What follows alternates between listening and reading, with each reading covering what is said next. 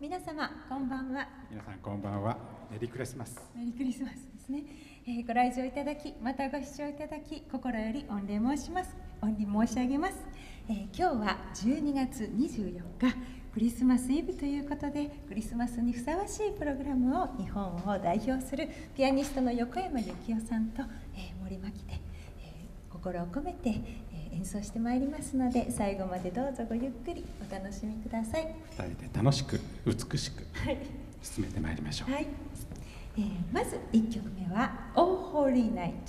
えーフランスの作曲家アドルフ・アダムが1847年に作曲したフランス語のクリスマスキャロル「賛美歌」の英語版です「おう聖なる夜星は光り輝いている」今夜は私たちの救世主が生まれた日。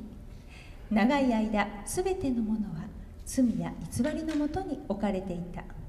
主が現れ生きることに価値があると分かるまでは疲れ切った世界が希望や喜びに震える。主は新しく輝かしい朝を与えてくださる。ひざまずき天使の声に耳を傾けよう。おお聖なる夜よ。キリストが生まれたこの夜に主は私たちに心から互いを愛せと仰せられた。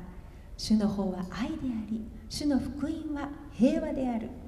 主は私たちの同胞なる奴隷のために鎖を砕かれ主の皆のもとすべての苦悩を終わらせたもうた。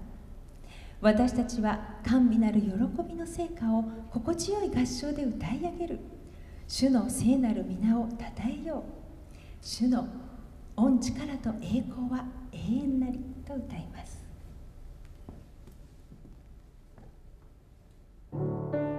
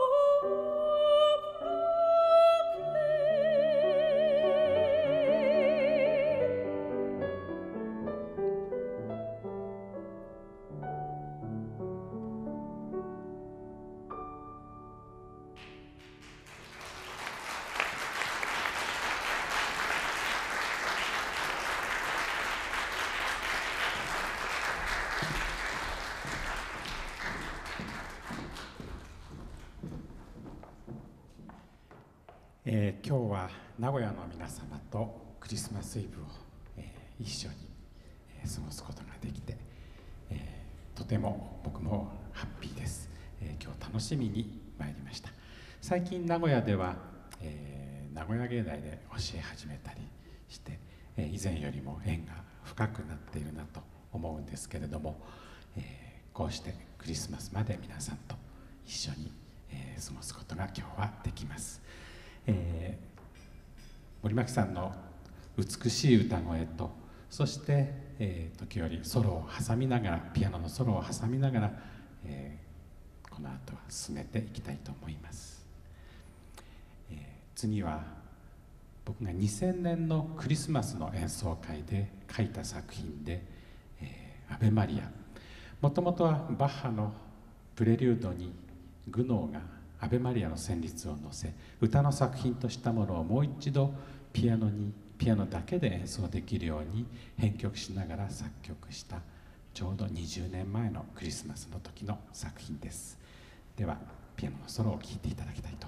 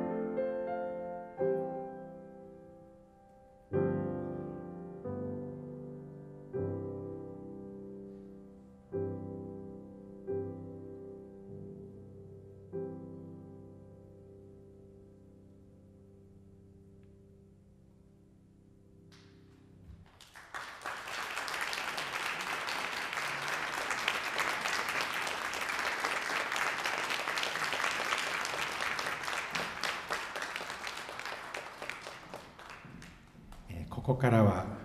マキさんと一緒にもう3曲「アベマリア」ですね違う作曲家の「アベマリア」を聴いていただきたいと思います横山さんの編曲された星がきらめくような「アベマリア」に続いてはオリジナルにあたるドイツの作曲家バッハの平均率にフランスの作曲家グノーがメロディーをつけた「アベマリア」をお届けいたします。こちらはラテン語のミサの歌詞が付けられています。アベマリア恩恵に満ちた方主はあなたと共におられます。女性のうちで祝福されたお方あなたの子イエスも祝福されています。聖なるマリア神の御母罪人なる私たちのために祈ってください。今もそして死を迎える時も。アーメン。そうなりますように。と歌います。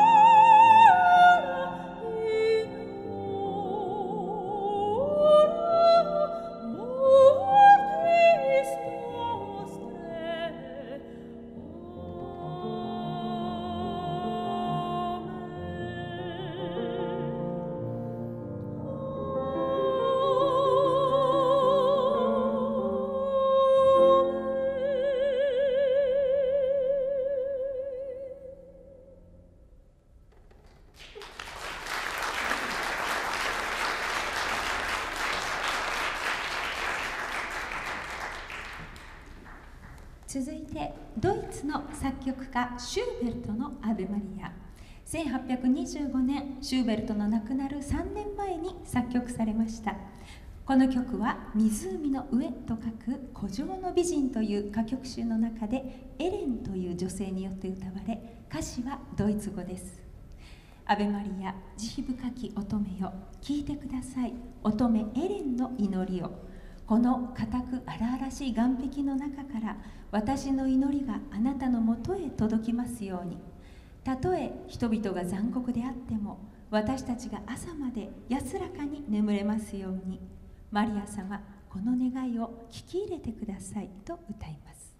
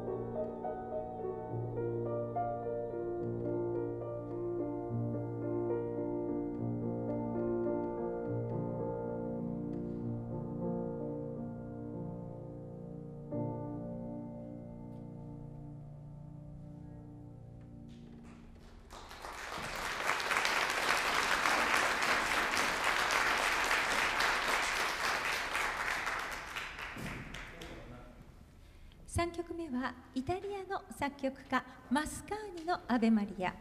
これはマスカーニのオペラ「カバレリア・ルスティカーナ」の有名な間奏曲のメロディーにマッツォーニという人がイタリア語の歌詞をつけた歌曲です。アベマリア聖なる母よひどい苦しみの中をあなたに祈りを捧げ哀れに歩む者を支えてくださいその心に信仰と希望を呼び覚ましてください。慈悲深い方あなたも大いに苦しまれました。止めどない涙を流しむごい苦悩にあってもどうか見捨てないでください。アベマリア私を悲しみの中に置き去りにしないでください。母なる方よお願いですと歌われます。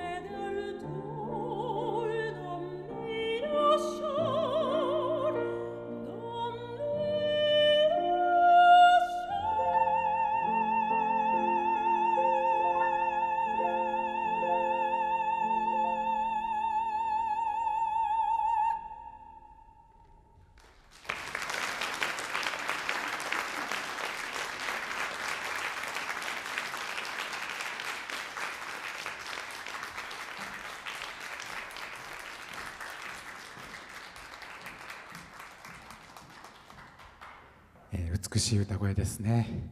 えー、どうしてあんなに綺麗な声が出るのかなと。いつも不思議に思うんですけれどもね、えー、またここでしばらくピアノを聴いていただきたいと思います、えー、今年生誕250年を迎えたベートーベンの作品、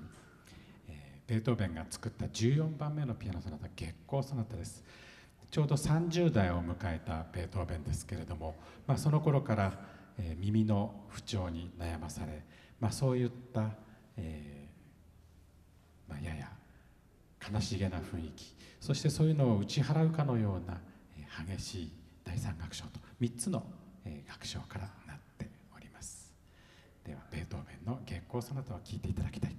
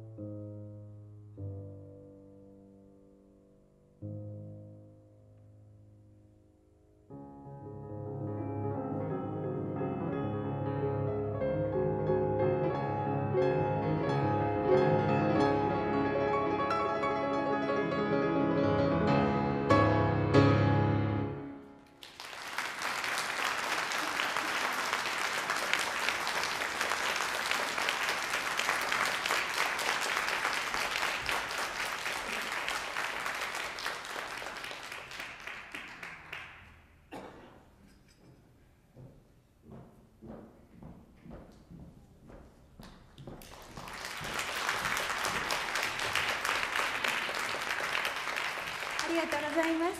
えー、素晴らしいベートーベンの月光の後はクリスマスのポピュラーソング「ホワイトクリスマス」をお届けします。ニューヨーク育ちのアーウィン・バーリンによって作詞作曲されたこの曲の背景には悲しい出来事がありました。バーリンがこの曲を書く数年前に生まれて3週間の彼の息子がクリスマスイブに亡くなってしまったのです。そんなこともありこの曲は亡くなった息子への思いと一緒に素敵なクリスマスを過ごしたかったという気持ちも込められていたかもしれません。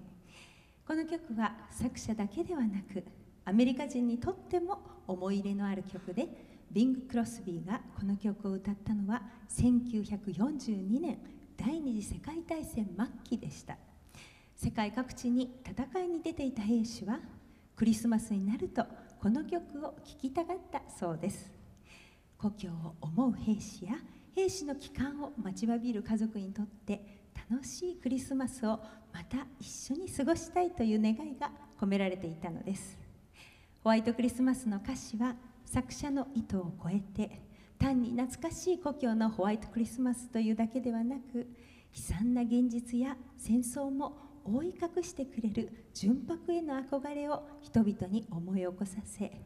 あなたの日々が楽しく輝き祝福されますようにと祈りを込めて歌われます。では横山さんにまたお願いします。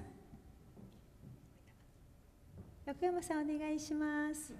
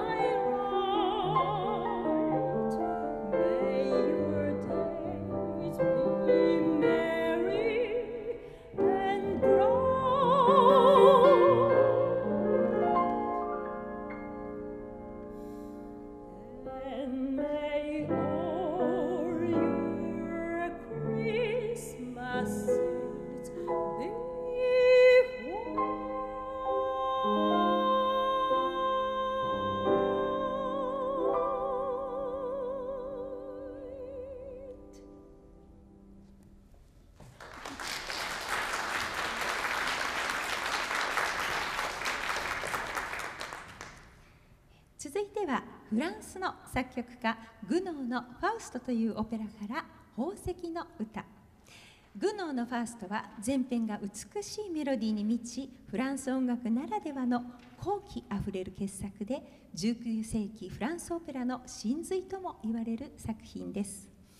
オペラの内容は悪魔に魂を売り渡して若さを手に入れたファウスト博士と純真なマルグリートの恋と悲劇の物語。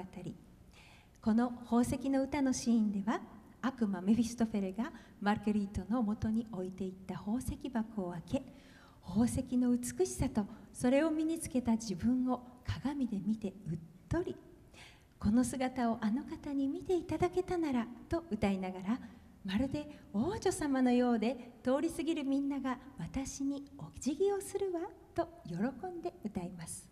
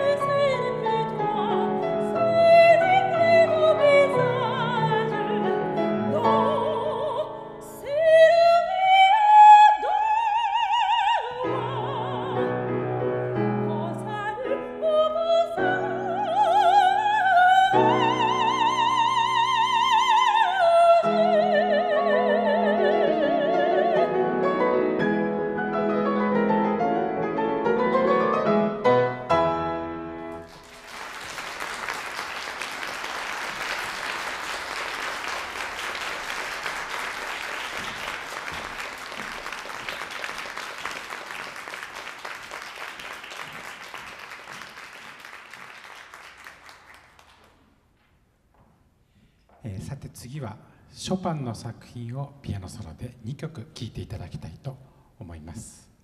まあ、先ほどのベートーベンよりも40歳ほど年下のショパン、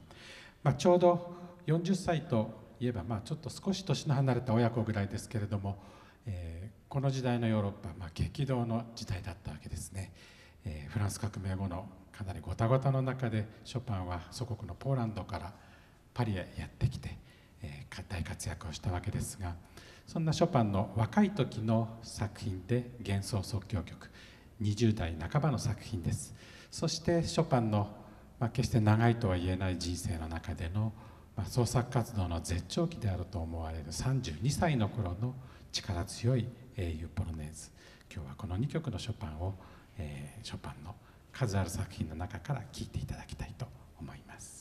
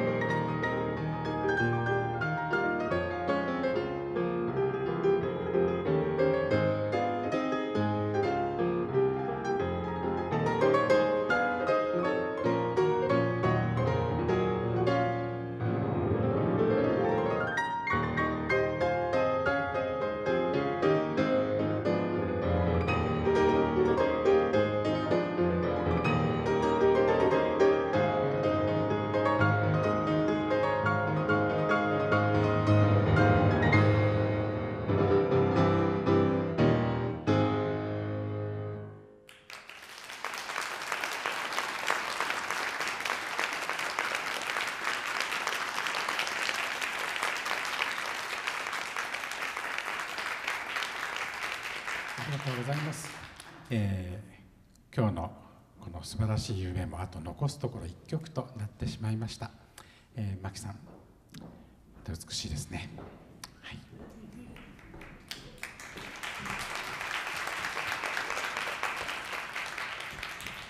大迫力のショパンの後はプログラムの最後となります。イタリアの作曲家プッチーニのオペラ「ラ・ボエム」よりムゼッタのワルツ。恋人マルチェッロと別れたムゼッタがクリスマスにカフェモミュスでマルチェッロを見かけ私が一人で街を歩けば人々は立ち止まって私を見つめるの美しさの秘密はどこにあるのかと頭の先から足の先まで見つめるのよとマルチェッロに自分と別れたことを後悔させようと歌いかけます。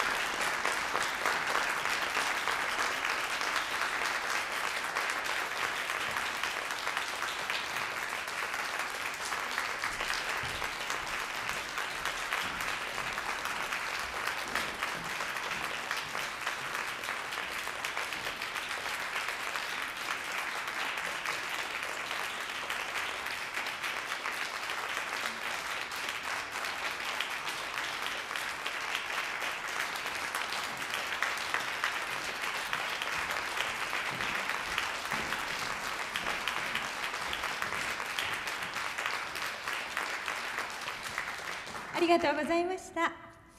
えー、今日は、え、本当にクリスマスイブということでこうして皆様にお集まりいただきまして、えー、コンサートが開ける幸せを心に、え